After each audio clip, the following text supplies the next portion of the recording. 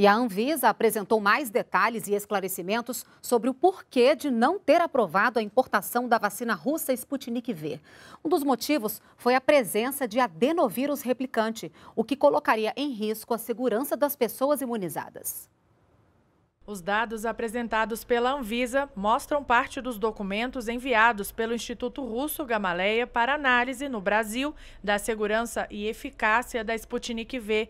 O principal ponto questionado pela agência para não autorizar a importação da vacina foi a existência de adenovírus replicante, ou seja, a capacidade do vetor utilizado na produção da vacina de produzir cópias do seu material genético dentro das células. O que norteia a análise técnica é que as vacinas precisam ser seguras.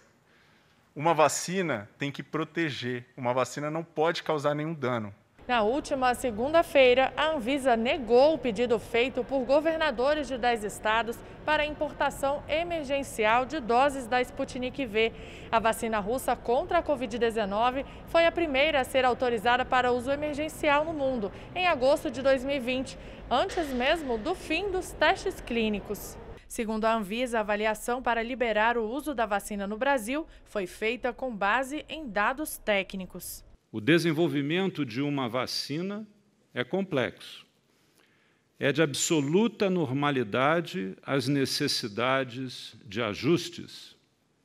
Portanto, a Anvisa, no cumprimento do seu dever, está sempre receptiva para avaliar novos estudos e informações